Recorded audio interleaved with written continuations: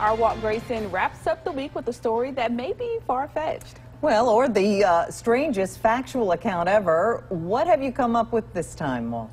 Yeah, that's right, Melanie. I find the story of Sylvester Magee fascinating. Now, when I mention it to serious historians, they sort of roll their eyes. And, but let me just tell you the story, and you make up your own mind. The story of Sylvester Magee ends here in a cemetery behind Pleasant Valley Methodist Church in Foxworth, Marion County. He passed away back in 1971. Here's what we think we know. Jeanette Daniels skips to the chase with his most remarkable attribute, his age. Yes, he lived to be, according to history and the data that we've collected throughout the uh, internet, he was 130 years of age when he passed away in 1971. Sylvester Magee was born in North Carolina and wound up as an enslaved person in Mississippi. He had no birth certificate, but Chancery court records in Covington County list him and his father as being passed on to the next of kin when their owner died in 1859.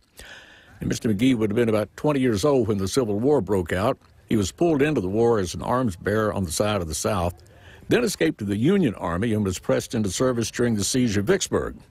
So, if his age is true, he would have been the last surviving emancipated slave in the country when he died in 1971.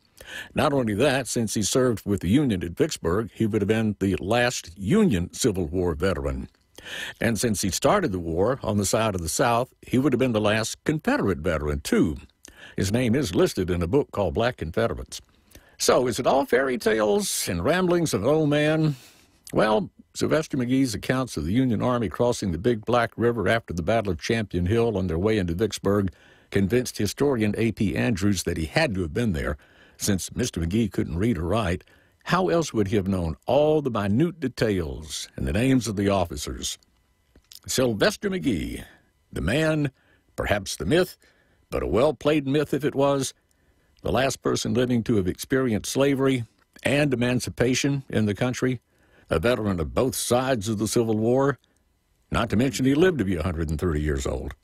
Now, I was told by one source that with some help of some well-wishers, they managed to convince the VA hospital he was a Union Civil War veteran 100 years after the war ended to get him some medical treatment.